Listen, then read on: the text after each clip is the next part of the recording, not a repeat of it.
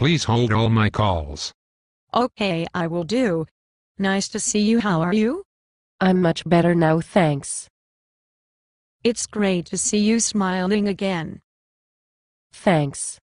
You know a beautiful smile is a beautiful thing. Isn't that kind of repetitive? Maybe. But a beautiful smile really affects the people looking at it.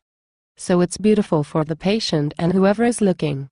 It is kind of amazing how a beautiful smile affects other people. They not only think a person with such a smile is attractive, but they also imagine that person is smarter, friendlier, healthier, more successful. All that from a smile? There have even been studies to back this up. Think about the opposite, someone with really crooked or stained teeth. What do people think of that? I guess they think the person isn't so smart, isn't so healthy, isn't so successful, doesn't care enough to take good care of themselves. Whether correct or not, that is the kind of assumptions people make. I've known people with bad smiles. Some don't like to smile a whole lot. They're embarrassed. I've had patients who improved their smile, not only perked up their romantic life, but also got promotions at work, found people paid attention to them as if they were suddenly more intelligent, they were thought of as friendlier and more outgoing as well. Those benefits are huge. And I guess if a person doesn't fix his or her ugly smile, it is not all that smart. You are perhaps right. Not having a beautiful smile is not smart. One of the best ways to make a smile beautiful is with veneers. Veneers. A tooth veneer is basically a thin porcelain cover that we attach onto a tooth. It looks just like a tooth, but is perfect. For one thing, it can instantly give you permanently white teeth. That sounds pretty darn good. It's better than good. It not only can improve the tooth's color, it can also improve its appearance if the tooth is chipped, crooked, or uneven. It will give the tooth a perfect shape and contour. That is very cool. It can even lengthen a tooth that is too short, or fill in gaps if there's too much space between teeth by making the veneer surface slightly wider than the actual tooth. It's a miracle. Pretty close. By making little adjustments, we often can make teeth look perfectly aligned.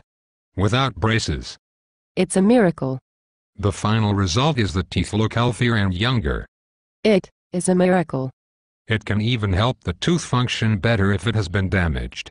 It's beyond a miracle. Not only that, it can do it all fast. A fast miracle. Depending on what kind of veneer you get, it can be just a couple of weeks from start to finish and suddenly you have a flawless smile. There are different kinds of veneers. Yes. One of the newer brands of veneers is called Lumineers. How is it different than other veneers?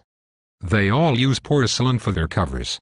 The main difference with something like Lumineers is that the porcelain is very thin and strong, so it can be placed onto a tooth without having to remove any or very little of the original tooth structure.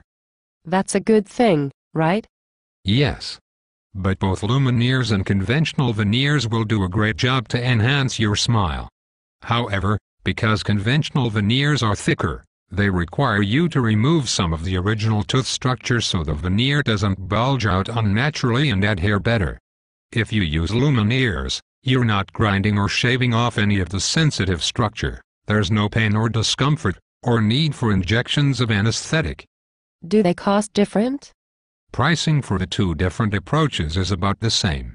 So why don't all dentists use Lumineers? Some dental cases do not qualify for Lumineers, this is due to the way the original teeth are placed in the mouth. What do you mean? Well, if there is little or no space between the teeth, then, even the super thin lumineer will not fit, or, if teeth are too crooked, then the dentist needs to grind the tooth anyway and adjust the veneer a bit more, and sometimes there is a color issue with the teeth and the thicker veneer might do a better job covering it. So, how do I know which one to choose? Not to worry, your dentist will know which one is better for your situation. So, what you are saying is that both veneers and lumineer are pretty much the same and it is just a matter of a few circumstances which might make one better than the other, and the dentist will know? That sums it up quite well.